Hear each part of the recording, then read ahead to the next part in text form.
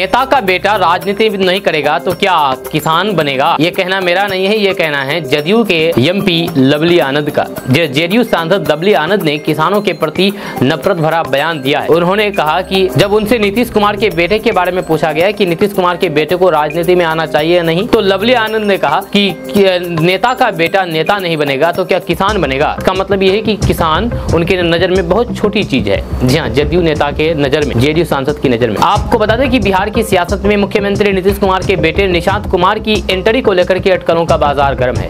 जदयू के कई नेता इस बात की मांग कर चुके हैं कि जदयू के खोई हुई प्रतिष्ठा को वापस पाने के लिए निशांत को जदयू ज्वाइन कराया जाए। जदयू नेता मांग कर रहे हैं की निशांत को पार्टी ज्वाइन करा करके पार्टी की महत्वपूर्ण जिम्मेदारियाँ देनी चाहिए। हालाँकि अब तक इस पूरे प्रकरण पर नीतीश कुमार या फिर पार्टी की तरफ़ से कोई भी बयान नहीं आया है। इस बीच शिवहर सांसद और बाहुबली नेता आनंद मोहन की पत्नी लवली आनंद के बयान से अटकलों का बाज़ार गर्म हो गया है। लवली आनंद ने नीतीश कुमार के बेटे निशांत कुमार के राजनीति में आने का खुल करके स्वागत किया। निशांत कुमार के जदयू ज्वाइन करने के सवाल पर उन्होंने कहा कि नेता का बेटा राजनीति नहीं करेगा तो क्या खेती बाड़ी करेगा? उन्होंने कहा है कि नीतीश कुमार के बेटे को राजनीति में ले आना चाहिए, उनका स्वागत की योग्य है। उदाहरण देकर के निशांत की राजनीति ज्वाइन करने को सही ठहराते हुए लवली आनंद ने कहा कि इसमें कुछ भी गलत नहीं है। डॉक्टर का बेटा डॉक्टर, वकील का बेटा वकील बन जाता है। अगर पॉलिटिशियन का बेटा पॉलिटिक्स में आता है तो फिर दिक्कत क्या है?